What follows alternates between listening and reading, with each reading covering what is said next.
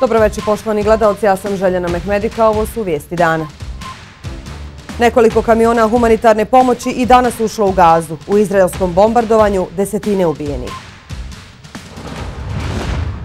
Sa skupova podrške palestinskom narodu iz Sarajeva i Tuzle poziv svijetu za zaustavljanje ubijanja djece i civila u gazi. Svečano otvoreno 16. savjetovanje Bosansko-Hercegovačkog komiteta Sigre u Neumu. Ratari u Bosni i Hercegovini suočeni s novim višim cijenama repromaterijala, što negativno utiče na jesenju sjetvu.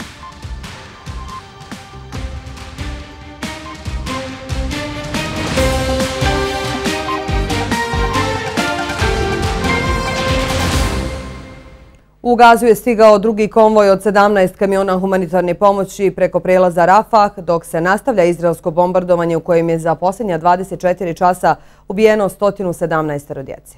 Izrael najavljuje nove žestoke napade na Hamasova uporišta na sjeveru pojasa. Ujedinjene nacije pozivaju na hitno oslobađanje talaca koje je zarobio Hamas te trajnu humanitarnu pomoć za Gazu. Upozoravamo na uznemirujuće snimke.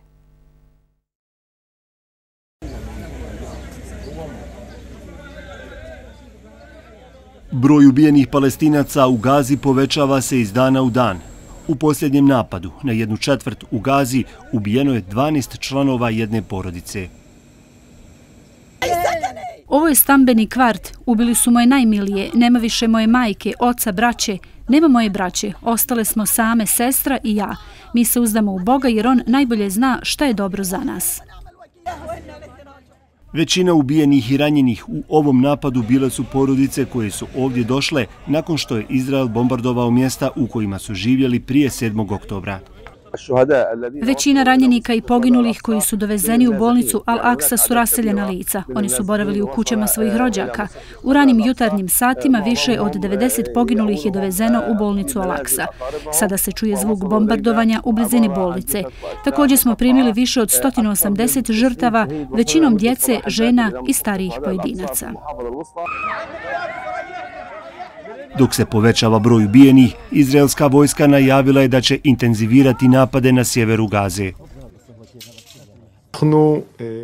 U Gazi ne prestajemo da napadamo. Sinoć smo pojačali naše napade i kao rezultat pojačanih napada i preciznih obavještajnih podataka koje imamo, desetine terorista su ubijene u gradu Gazi i njegovoj okolini.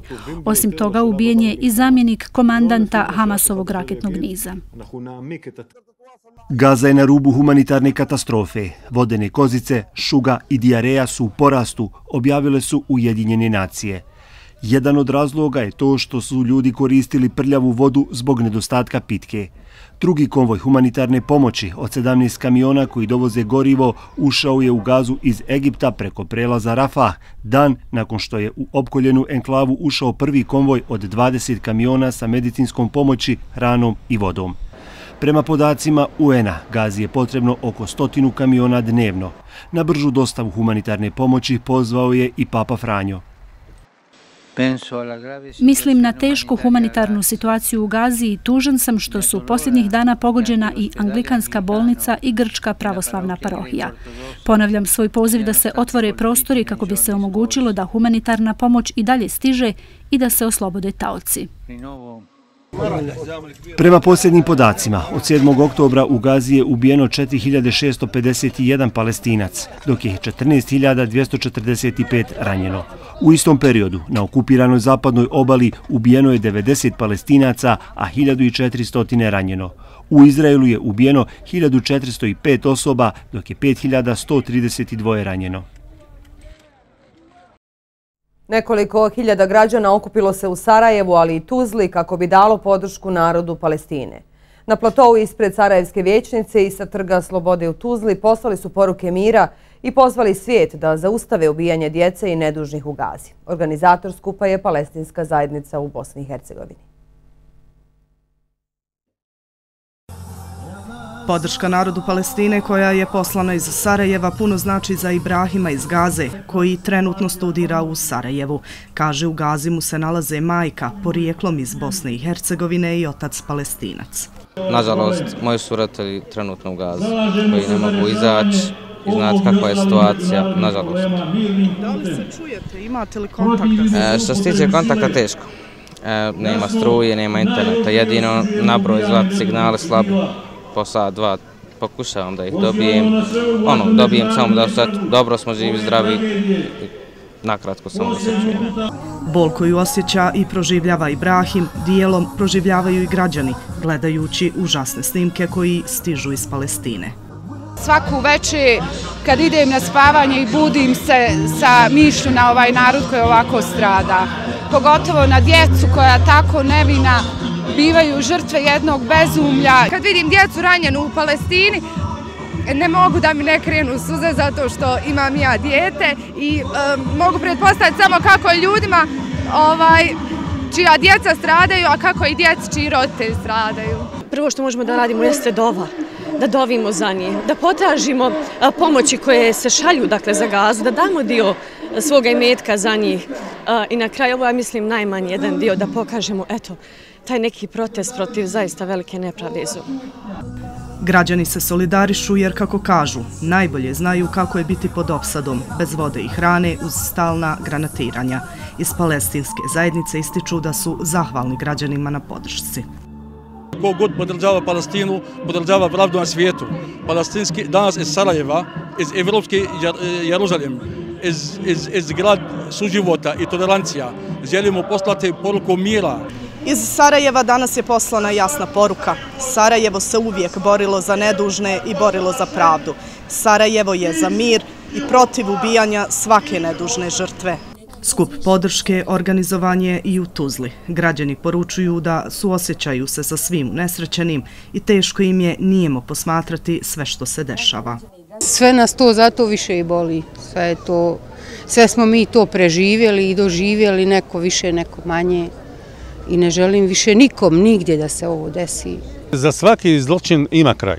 Znači, pravda treba da dođi na svoje mjesto. Mi, e, znači, E, budrđe se sa našom narodom, e, oni su, poruka dolaze svaki dan, da nemojte se sikirati za nas, pravda će doći, mi smo jači. Tako su građani još jednom pokazali da žele i trebaju dići glas protiv ubijanja civila, uz snažne poruke da su protiv nasilja i da im je jedno zajedničko, želja i molitva za mir palestinskog naroda.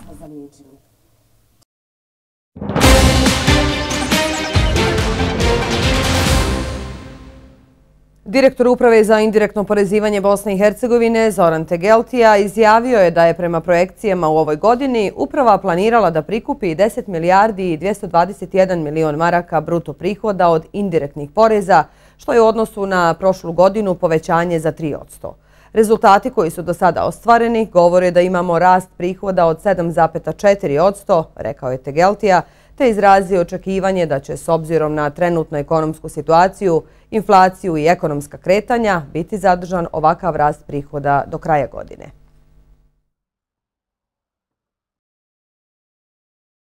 Bosansko Grahovo nekada je važilo za jedno od razvijenijih opština u Bosni i Hercegovini. Od prijeratnih 9000 danas ovdje živi tek nešto više od 1000 ljudi, uglavnom u teškim okolnostima i, kako kažu, zaboravljeni od svakoga. O životu u ovoj opštini više u prilogu kolege Armina Pašića. Zatvorene stare trafike, puste kuće, ulice i životi. Slika je to Bosanskog Grahova, čiji pojedini dijelovi dalje izgledaju kao da je rat tek završen. Rijetki provaznici se mogu sresti uglavnom na putu do dva marketa koliko ih u ovom mjestu ima. Kako se ovdje živilo prije rata, a sad je baš je, sad je, sad je propast. Omladne nema, niko živ ne vraća se. Ovo starije što se je vratilo, to je već pomrlo. Kuće se ne obnavljaju, povratka nema. Oni koji dođu, dođu samo na nekoliko dana i evociraju uspomene, kaže to i načelnik Uroš Đuran. Te život u Grahovu danas, odnosno u svih ovih 20 i nekoliko godina povratka, je zaista težak. Od neispunjavanja onih osnovnih uslova za život, dakle, ako nemate banku, do, do prošle godine nismo imali ljekara u, u domu zdravlja, odnosno nemamo ni dom zdravlja, nego jednostavno tu ambulantu do, do nemogućnosti bilo kakvog zaposlenja, pa ako uzmemo čitavu situaciju čitave našoj državi, gdje mladi odlaze iz onih urbanih dijelova, iz Sarajeva, iz Banja Luke, iz Zemce, iz Mostara, od svakle odlaze vani, onda nemamo šta ovdje pričati. I gotovo 30 godina nakon rata u centru Bosanskog Grahova, Ruševine. No više od toga stanovnike zabrinjava sama demografska situacija. Od početka godine do danas ovdje nije rođeno niti jedno dijete, a školu su upisala tek četiri prvačića. Kako je raditi u takvim uvjetima najbolje zna direktorica koja kaže doći će dan kada će školsko zvono zamijeniti muk i tišina. Kogod razmišlja, naravno da smo zabrinuti. Mogu reći ovaj, da su nastavnici, učitelji zaposleni u ovoj školi ponekad pravi mađioničari. Jer e, trebao planirati jedan čas u učionici sa četiri učenika. Ali jako sam zadovoljna i to sve funkcioniše onako kako treba. Da kažem da bi čas bio kvalitetan, da bi nastava bila kvalitetna. I ono malo ljudi koji tu žive strahuje da će sutrašnjica da im oduzme jedino što imaju, a to je čist zrak. Brinu ih informacije da će stara ciglana postati fabrika za pirovizu guma iz čitave zemlje. Znači možemo se iseljavati ponovo kao što se iseli 95. godine, jer tu života nema i ovako smo zagađeni od svega. Niti imamo šta ne ovako, još treba nam sa tim da uguše. Nisam pismena žena, valjda mi fali u jednoj rečenici svakoj slovo, ali ja znam reći ono što nije za nas. Danas nečim drugim pomogne, da nam još otrov donosite tu. Pa ima li smisla, ajde mi recite. Od prijeratne opštine sa nutom stopom nezaposlenih do zaboravljene i napuštene opštine u kojoj se jedva živi. Dobar život ovdje će čini se još dugo biti na čekanju. Nakon prošlogodišnje najskuplje jesenje sjetve u istoriji poljoprivredne proizvodnje na našim prostorima, ratari su ove godine suočeni sa novim cijenama repromaterijala, što će se negativno odraziti na jesenju sjetvu. Zbog visokih troškova sjetve, sve više ratara planira sijanje pšenice iz ambara, što propisi ne dozvoljavaju. Pritisnuti slabim prinosima, niskom cijenom i višegodišnjim gubicima, ratari u Republici Srpskoj jesenju sjetvu dočekuju u neizvijesnosti. U Semberi, najvećoj žitnici naše zemlje, ratari su u dilemi. Jedna repca je posijana, e, koliko toliko uslovi su bili dobri, ulazi se u sjetu pšenice, znači za nekih 15-20 dana, već je tu ozbiljan problem oko cijene sjemenskog materijala, znači sjemenska pšenica se kreće od nekih 120-150 maraka. Zbog visokih troškova jesenje sjetve, a posebno visoke cijene sjemenske pšenice, mnogi će sijati pšenicu iz ambara, što propisi ne dozvoljavaju. Veće količine će se sijati domaće pšenice, neće se ići na, na, na original sjeme. Svima je razlog poznat. 25-30 maraka je bila u otkupu, to je zaista ponižavajuće u odnosu na cijenu 150-160 maraka sjemenske zašto se radi. Narod mora sijati. Svaka je godina sve teža i teža, ali mi moramo sijati i rati. Ni vremenske prilike im ne idu na ruku zbog visokih temperatura, ali i naglih temperaturnih oscilacija mogli bi ostati bez onoga što posiju. Ovo su jako stresni uslovi za biljnu proizvodnju uopšte, mislim i za nas ljude, a za neku fabriku pod otvorenim nebom e, izuzetno, izuzetno stresni uslovi. Da je situacija nezavidna potvrdio i resorni entitetski ministar Savo Minić tokom nedavne posjete Semberi i najavio podršku ministarstva, ali ne i kad. Imamo nekoliko solucija, prijedloga koji smo danas čuli od, eh, ne znam, nekih da vidimo oko same subvencije sjemena, načina eh, eh, plaćanja u nekim ratama do toga da se dozvoli, što naravno trenutne propisi ne dozvoljavaju, sijanje pšenice i zambara. Jednostavno moramo napraviti nekakav modalitet, zato i razgovaramo i ja nisam ni čarobnjak, ni djed mraz da dođem da u jednom momentu nešto riješim. U gradskom odjeljenju za poljoprivredu u Bijeljini ipak se nadaju da će sjetva biti na prošlogodišnjem nivou, te da će pšenica biti zasijana na oko 15.000 hektara. Prodaja elektronskih cigareta nije zakonski zabranjena maloljetnim osobama u Republici Srpskoj. Prosvjetni radnici apeluju na donošenje zakonskog ograničenja jer je sve veći broj učenika koji koriste elektronske cigarete. Pulmolozi upozoravaju da su štetne po zdravlje što su pokazala istraživanja studenta hemije na Prirodno-matematičkom fakultetu. Prosvjetni radnici na razne načine pokušavaju da kontrolišu pušenje kako klasičnih, tako i elektronskih cigareta u školama. Osim pojačanih dežurstava nastavnika i video nadzora, uvedene su i evidencione liste odlazaka u toalet tokom časa. Elektronske cigarete naročito su popularne među starijim osnovcima i srednjoškolcima. Koriste ih u školskim dvorištima, toaletima, pa čak i učionicama.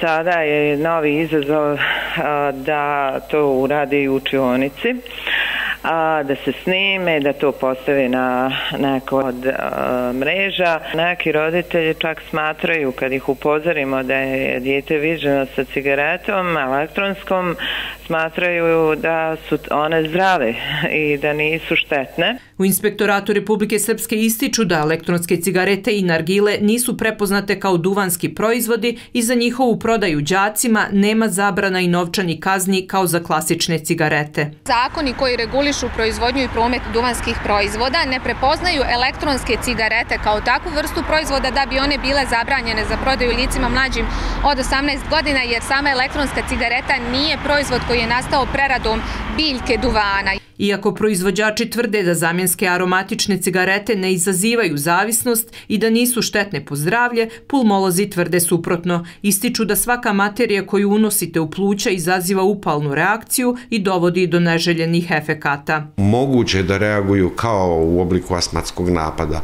u obliku nekog spazma druge prirode, u obliku nekontrolisanog kašlja, gušenja, sve ono što se udiše u pluća, a bez razložno i tekako može izazvati štetne posljedice na pluća. I prošlogodišnje istraživanje studenta hemije na Banja Lučkom PMF-u pokazalo je štetnost elektronskih cigareta. Kvantifikovali smo e, četiri teška metala, e, olovo, hrom, kadmium i mangan. E, problematika tih teških metala jeste u tome što se oni mogu akumulirati u organizmu, to jest nagomilavati i osim prijetnje po zdravlje, oni mogu biti ozbiljna prijetnja i za životnu sredinu. Na svjetskom kongresu o karcinomu pluća pojedini stručnjaci su istakli da nema razlike u štetnosti između klasičnih i elektronskih cigareta, već da se samo manifestuje na različite načine.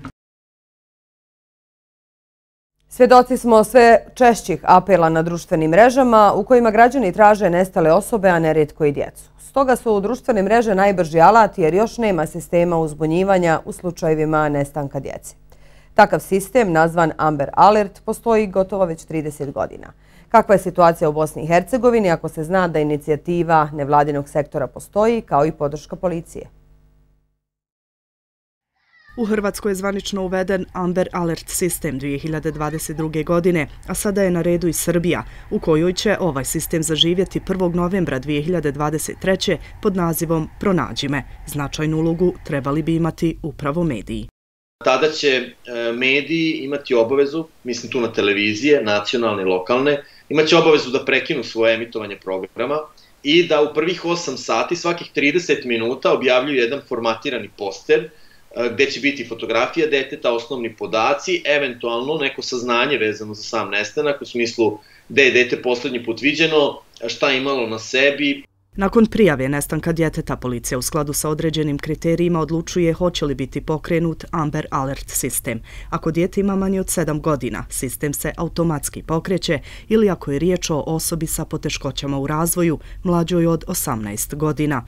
U Bosni i Hercegovini ovaj sistem još nije zaživio, ali su prema mišljenju stručnjaka ispunjeni tehnički preduvjeti. Pa kad danas dobili naredbu za nekih dva mjeseca bi otprilike uspjeli do testne faze dovesti što tiče federalno ministarstvo unutrašnjih poslova, federalne uprave policije, mi smo spremni za to i o, infrastrukturom i ljudima. Iz Centra za sigurni internet, koji je jedan od pokretača ove inicijative, smatraju da je nužno da ovakav sistem postoji u našoj zemlji iz preventivnih razloga. U slučaju nestanka, dok policija obavlja operativni dio, centar bi informirao javnost.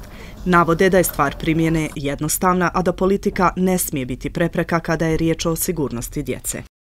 Reakcija i aktivnosti naših vlasti bi po našem mišljenju trebale da budu puno intenzivnije, puno efikasnije, da se ovakve ovakvi mehanizmi uspostavljaju puno brže, da općenito u svemu što se tiče djece, ali svemu što se tiče naše djece, budemo brzi i efikasni. Tu nema prostora za politiku. Početkom godine delegatkinja Sanela Klarić otvoreno je uputila inicijativu. Što se tiče nadležnosti, naši sagovornici smatraju da je potrebna veća saradnja institucija kao što su Agencija za zaštitu ličnih podataka BiH, Ministarstvo sigurnosti BiH i Federalno ministarstvo pravde, a samim tim i edukacija zaposlenih. Ta interdisciplinarnost je nešto što nekako e, kao model e, je problem prihvatanja i ljudi koji rade u institucijama i samih ljudi koji vode te institucije. Ako postoji mogućnost da Amber Alert sistem spasi makar jedan život, važno ga je imati. Iako slučajevi nestanka djece nisu tako česti u našoj zemlji, pitanje je hoće li, uz sve inicijative i podršku policije, tragedija motivirati vlast za uvođenje ovog sistema.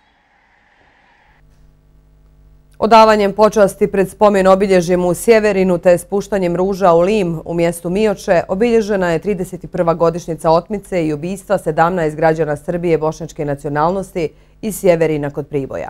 Pripadnici paravojnih jedinica pod komandom Milana Lukića oteli su bošnjake koji su iz sela autobusom krenuli u Priboj. Iz autobusa su izvedeni i odvedeni u pravcu Višegrada gdje su pretučeni, a potom ubijeni. Do danas su pronađeni posmrtni ostaci samo jedne žrtve, dok se ostali i dalje vode kao nestali. Za zločinu u Sjeverinu okružni sud u Beogradu je u julu 2005. godine osudio komandanta jedinice osvetnici Milana Lukića i pripadnike te jedinice Olivera Krsmanovića i Dragutina Dragičevića na po 20 godina zatvora, a Đorđa Ševića na 15 godina zatvora. Taj dan su, znači 22.10.1992. odvedeni i od tada pa do danas dana nikakvog traga nema, nema ništa. Ova država nema sluha za to da čuje jednostavno te jednostavno ne, ne, ne razmišljaju o tim ljudima da se ona išta prizna im, da, da status imaju, da jednostavno su građani drugog reda.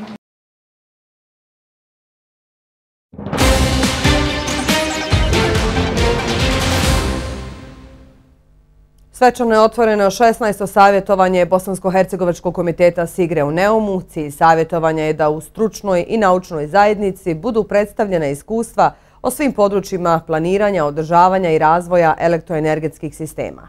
Iz Neuma izvještava Ivana Vidmar. Pa tako je, u Neumu danas evo svečano je i otvoreno 16. savjetovanje BH komiteta Sigre. Ovdje je stiglo veliki broj stručnjaka iz polja energetike i bit će uva tri dana koliko će trajati savjetovanja. Savjetovanje bit će prezentirana 133 stručna referata, među njima će se svakako i birati oni najbolji. Dakle, svi ti radovi koji su do sada i prošli reviziju, oni koji budu najbolji, bit će naknadno i objavljeni objavljeni u BH časopisu BH Electronics. Kako smo ovdje i doznali, glavni sponsor kao i najveći ulagač u Bosni i Hercegovini svakako je Kina, koja već sada radi na velikom broju projekata, a u sljedeća tri dana ovdje u Neumu prezentirat će i sve svoje nove projekte koje imaju namjeru raditi i samim tim i ulagati u Bosnu i Hercegovinu, a najveš su usmjereni ka vjetroelektranama. Dakle, možemo reći da je ovdje stavljen neki fokus na zelenu energiju, energiju, odnosno na obnovljive izvore energije. Evo izjave direktora BH komiteta Sigre. I recimo do 2035. godine mi godišnje bi trebali puštati u pogon po 200 MW obnovljive energije da bi mogli nadomjestiti obavezu dekarbonizacije nulte do 2050. godine. Dakle, naglasak je i dalje obnovljiva energija, to je ovdje sunčana i vjetar. Nažalost, treba ispitati strategiju i oko hidroproizvodnje, jer Bosna i Hercegovina ima ti kapaciteta, ali trenutno zakonski okvir nije zadovoljavajući. Ove godine na ovom savjetovanju uključeni su i profesori dekani brojnih fakulteta iz Bosne i Hercegovine, a kako smo u razgovoru uspjeli saznati, dosadašnja suradnja na polju e, energetike bila je izvrsna sa vladom Republike Srpske, međutim, s druge strane, bila je izrazito loša i veoma površna sa vladom Federacije Bosne i Hercegovine, budući da do sada nitko nije pokazao pretjeran interes za energetiku, ali kako se ovdje u Sigrama e, nadaju da će se to sa novom vladom radom uskoro promijeniti i da će se promijeniti promišljanje o značaju energetike. Naša ekipa svakako ostaje ovdje u Neumu, pratit ćemo sljedeća tri dana zbivanja i svakako vas o tomu izvješćivati. Toliko za ovo uključenje. Turizam u Hercegovačko-Neretvanskom kantonu oporavlja se nakon pandemijskih godina i bilježi značajno povećanje dolazaka i ostanaka u Mostaru, Međugorju i Neumu. U procjenama kantonalne turističke zajednice navodi se da je ostvaren 165.961 dolazak, što je za 13% više u odnosu na prvih 8 mjeseci prošle godine. Za iduću sezonu pripremaju se i novi smještani kapaciteti, pa bi svoja vrata treba otvoriti i nekadašnji hotel Neretva koji sada nosi ime Hilton.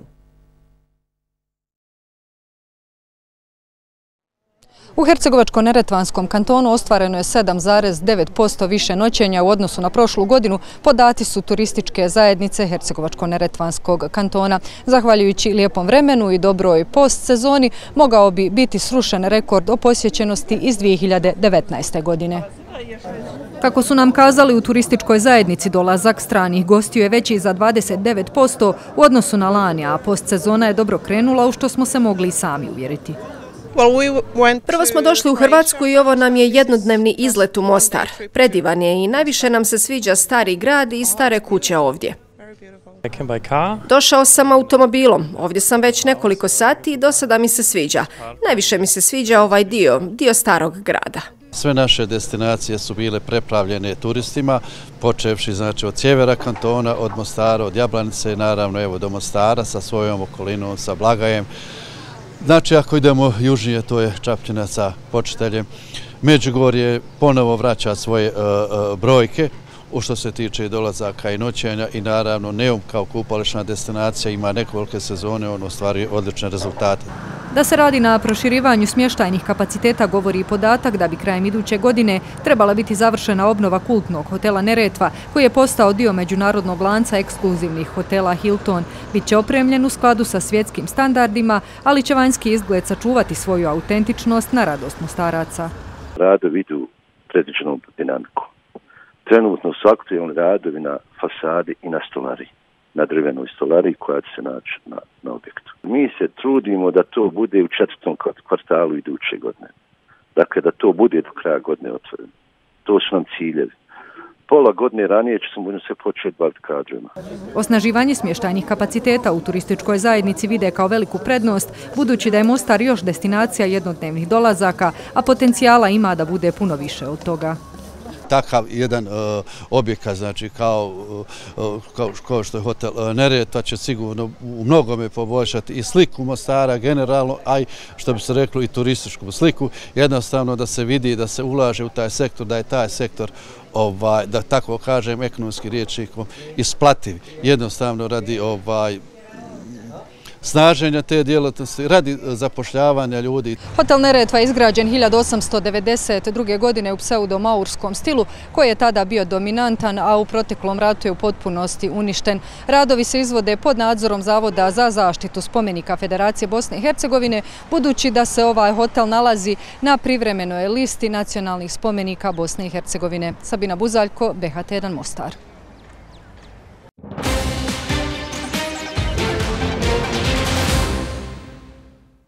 Na Tuzla film festivalu koji traje do 24. oktobra večeras je prikazan i film Velika raza rađen u produkciji VHRT-a.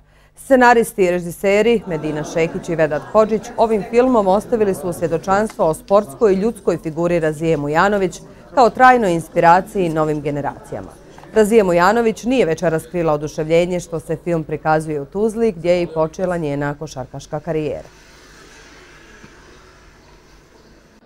Pa ja se osjećam veoma emotivno i svaki moj dolazak u Tuzlu uh, budi posebne emocije, a večeras je nešto baš posebno zato što, što je tu će biti veliki broj e, ljudi koji su pratili me kroz cijelu moju karijeru, koji su od mojih početaka kada sam došla u Tuzlu davne 82 a naravno bit će i ovi e, mlađi sportista koji će imati priliku da pogledaju film i ja se nadam da će im biti e, jedan postrek kako e, doći do nekih vrhunskih rezultata, na koji način, jer u filmu se u suštini dosta govori o tome.